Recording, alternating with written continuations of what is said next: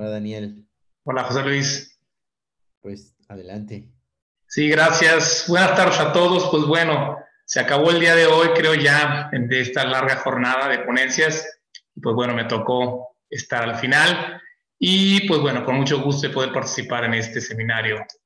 Eh, mi tema entonces es esto que tiene que ver con la interdisciplina y en particular con el taller interdisciplinario de la Facultad del Hábitat. ¿Se ve bien, verdad? ¿Está ahí la pantalla? Sí, ya lo estamos viendo. Bien, pues sí, este tema surge a partir de eh, haber entrado a la Facultad del Hábitat en muy reciente tiempo en una etapa de reestructuración, bueno, de primero de revisión curricular de sus planes de estudio, de sus programas académicos y finalmente de poder pensar una vez más en algún ajuste curricular o un cambio de plan de estudio. Entonces, me puse a, reflexionar respecto a lo que se había estado haciendo últimamente con, con esto de, la, de, pensar en nuestros objetivos curriculares y de formación en el diseño. Y eh, busqué un poco sobre el origen de, de esto. En la facultad nosotros tenemos a la interdisciplina como un concepto que es parte de la génesis de lo que se considera el, la facultad y eh, ha constituido desde que se inició una parte esencial en su pensamiento eh, tanto conceptual como epistemológico. Eh, en otra parte estaríamos tocando lo que viene siendo el, propio taller de proyectos interdisciplinario, cómo ha surgido, y particularmente en el año 2013 es cuando se da esta revisión curricular que generó un plan de estudios distinto que permitió incorporar al taller de proyectos interdisciplinario como una materia ya eh, obligatoria de la currícula. Y finalmente veríamos por ahí algunos aspectos de algunos cuantos ejemplos muy, muy, muy elementales de esto en otras instituciones eh, o facultades y escuelas de diseño. Bien, eh, precisamente entonces, haciendo un repaso muy, muy, muy sintético de lo que ha sido la facultad, digo, para quienes no nos conocen eh, quienes no, no, tienen esto más o menos en la mente. Nosotros surgimos como una carrera de arquitectura en formación en, diseño arquitectónico en el año 72. Y esta foto, bueno, remite al antiguo edificio que está en, el centro histórico de, la ciudad, la Caja Real, donde estaba la carrera de arquitectura y que eh, se, se, había adaptado ahí con la carrera de ingeniería. Y en el año 72 se crea como tal, pero eh, cinco años después de estar eh, en esta labor, se crea el concepto de poder generar un planteamiento institucional en el que, al igual eh, que la carrera de diseño arquitectónico, se integraran otras carreras de diseño. Este planteamiento hace que surja como tal el nombre de la unidad del hábitat en el año 77 y que con el paso del tiempo llegaría a conformarse como la escuela del hábitat el año 83. Finalmente es el año 92 cuando surgen ya los posgrados, los programas de posgrado, eh, maestrías eh, y especialidades, y que finalmente eh, acabarían con tener un programa extra que es el doctorado interinstitucional en ciencias del hábitat. Y bueno, con eso se denominaría la facultad, facultad del hábitat desde el 92. Bueno, han pasado entonces 48 años de tener la formación de los profesionales del diseño. Bueno, ahí vemos la foto de aquella primera generación y bueno, tiempo para acá, pues bueno, eh, el tiempo se manifiesta, ¿verdad? Ha sido un devenir con muchísimos eh, cambios, pero una de las constantes que se han tenido desde el modelo académico casi original de la facultad, aquel modelo del año 77, pues ha sido el considerarnos precisamente a partir de un carácter interdisciplinario. Este modelo que marca aquí eh, indicaba cómo había unas áreas que estaban eh, sosteniendo, vamos a decir, la base de todo el planteamiento de la estructura académica, que conformaban diversas disciplinas, se, veía desde la parte humanística, desde la parte estética, desde la parte ambiental, para conformar eh, una serie de espacios académicos y curriculares que anteriormente se llamaban los departamentos que eh, conformaban a su vez las áreas académicas. Eh, desde entonces, en aquel tiempo, en los años 70, esta entidad proponía que se abordara de una manera integral la solución de las necesidades del hombre en un marco contextual y un marco eh, cultural, perdón, y un marco natural, que son esos dos triángulos que se ven por ahí, confrontados en sus vértices, eh, y que en torno a ellos estaban todas estas investigaciones y disciplinas, eh, este, el área estética, las investigaciones humanísticas y las investigaciones técnicas. Y en torno a, cada una de estas investigaciones, pues se trataban todos los campos, ¿no? Lo social, lo funcional, lo técnico, lo físico, etcétera.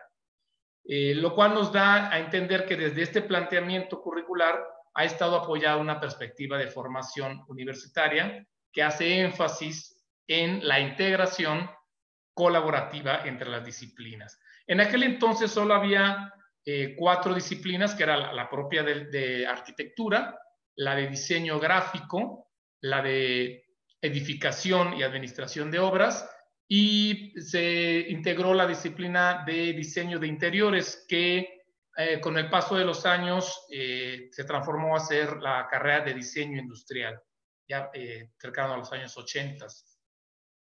Nosotros tuvimos a partir de entonces, de esa conformación como la unidad del hábitat que surge con estas cuatro carreras, en el 77, un concepto derivado de este pensamiento como holístico o integrador que hacía uso del concepto de la síntesis. En otras instituciones eh, educativas con respecto al diseño, es común eh, tener esta asignatura que trabaja la parte proyectual llamada como el taller de proyectos. Es un curso, materia o asignatura que normalmente centra toda la atención de la formación en diseño en la parte del proyecto, el saber hacer proyectos. Por lo tanto, también se les denomina a veces laboratorio de diseño o simple y sencillamente taller de diseño.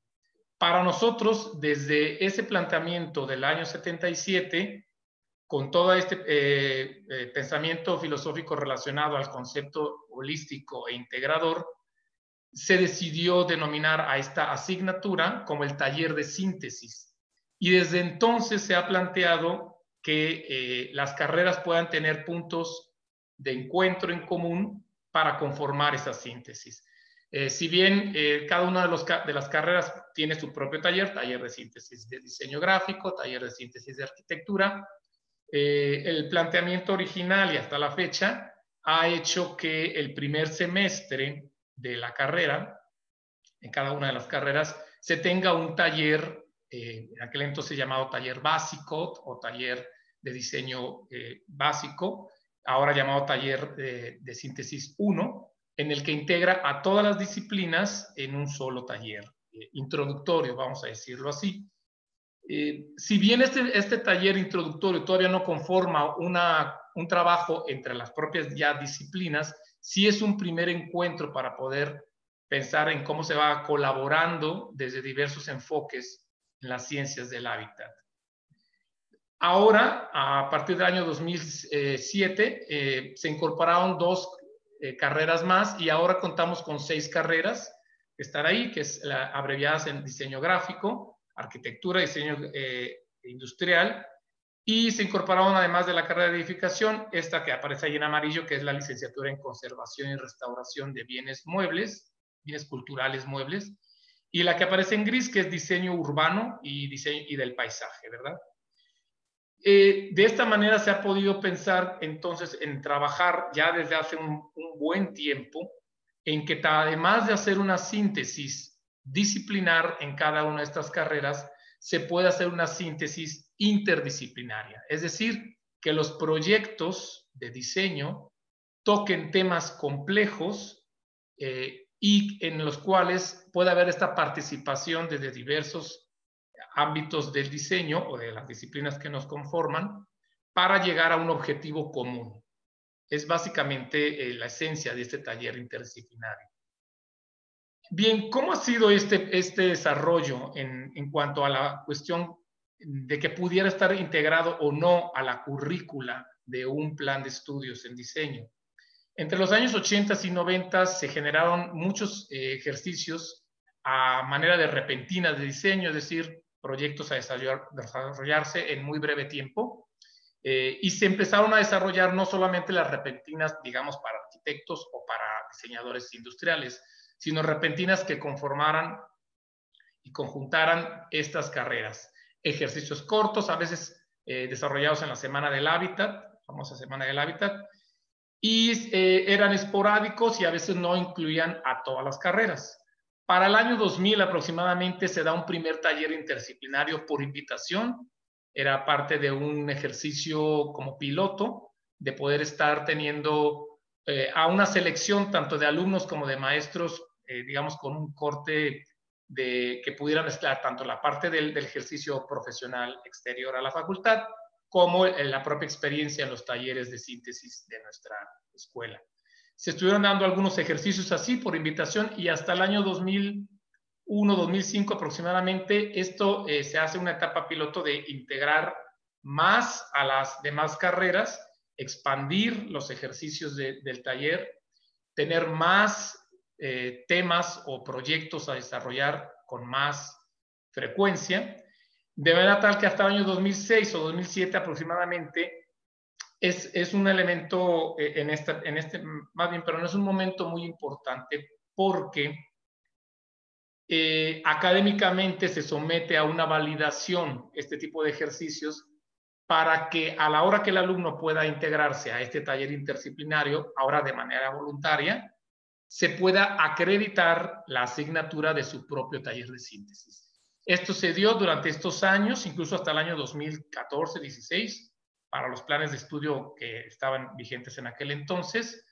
Y de esa manera un alumno podía escoger entrar al taller interdisciplinario y, acreditar su nivel séptimo o octavo de su carrera, cualquiera de los dos, o ambos, si quería repetir el taller.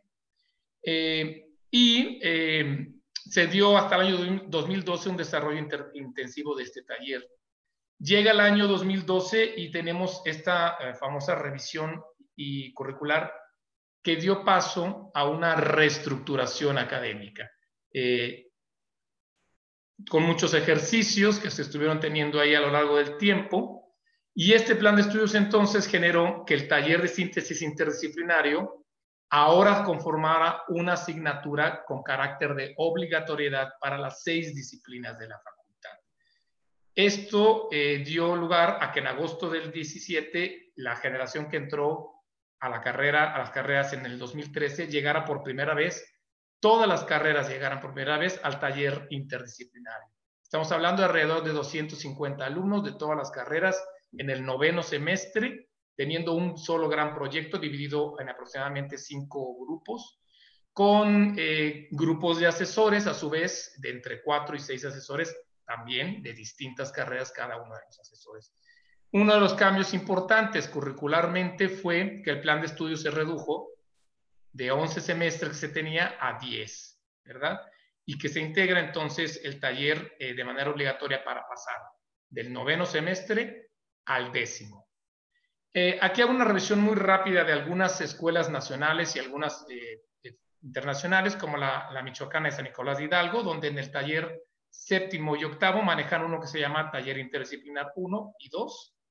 Eh, en la UDEM, Universidad de Monterrey, eh, en su eh, séptimo semestre tiene esta materia llamada Soluciones Interdisciplinarias de Diseño. En Chile, la Universidad del Desarrollo incluye un taller integrado o laboratorio interdisciplinar en su séptimo semestre, obligatoriamente, al, igual que uno en la carrera de arquitectura y otro en la carrera de diseño gráfico. Eh, en este caso también llamado laboratorio interdisciplinar. También, eh, por ejemplo, encontré aquí en Soria, en España, que la licenciatura en diseño gráfico de esta escuela de arte integra en su tercer año una materia llamada técnicas interdisciplinares y así en algunos otros ejemplos. Aquí sintetizo en esta tabla, en estos casos, ¿verdad? Cómo se da ahí eh, el plan de estudios en el año 2019 en algunos y en otro con algunos años de 2008, 2009. También la UNAM por ahí en programas de posgrado. Este, bueno, esto es básicamente una síntesis de estas universidades y los, en qué semestre se ubican, se ubican y las carreras que incluyen, por ejemplo, aquí incluyen a diseño de modas y gestión, diseño de espacios objetos, eh, etcétera, ¿verdad? Para el caso de nuestra facultad, como lo decía, ahí viene este recuadro en rojo, en el noveno semestre y eh, de hecho, en la estructura del, mapa curricular aparece como una materia común para todas las disciplinas, ¿verdad? Eh, maestro José Luis, no sé cómo vaya de tiempo por ahí. Quedan dos, dos, tres minutos para cerrar. Gracias. Bien, pues precisamente llegando a la, una parte de conclusión, eh, se, se, se, pretende entonces hacer esta reflexión con respecto a qué tanto puede plantearse que una materia o una asignatura de carácter interdisciplinario pueda eh, constituir eh, una, un, una materia obligatoria. ¿sí? Nosotros ahora en la revisión curricular que estamos teniendo nuevamente, pensando en, en, el planteamiento de un nuevo plan de estudios o un ajuste curricular, sí es verdad que seguimos considerando tenerla como una materia que tenga que cursarse en todas las licenciaturas, aunque hemos tenido retroalimentación y evaluaciones de los ejercicios que se han tenido ahora a partir del año 2017 para poder generar eh, un, ajuste incluso de si se sigue dando en el nivel noveno o en otros niveles. Eh, de esta manera entonces también salen reflexiones con respecto a qué, qué otros conceptos se pueden sumar a esta evaluación como como la co-creación o la coautoría de los productos, que son cosas que cada vez eh, toman más vigencia y más ahora en este mundo digital que estamos teniendo. Eh, unas consideraciones sobre operatividad que deben de tomarse cuestiones logísticas, pedagógicas y administrativas. Es complejo que todos, absolutamente todos los alumnos de una facultad en un determinado momento tengan este tipo de ejercicios y que requiere también mucha planeación y preparación por parte del docente y mucha gestión interna y externa para poder tener los proyectos eh, muy apegados a temas reales, ¿verdad? En la perspectiva hacia los 50 años de la facultad, eh, pasamos hace poco los 45, pues nos queda es, esa, esa pregunta, ¿verdad? De tener ese plan de estudios 2022 probablemente, y que bueno, que finalmente eh, esta postura que tiene la facultad uh, epistemológica frente a la educación universitaria, pues ha conformado un carácter y una identidad que ha, a, a lo largo de los años ha podido consolidarse como algo que nos distingue y que nos permite comprendernos como institución. Muchas gracias atención.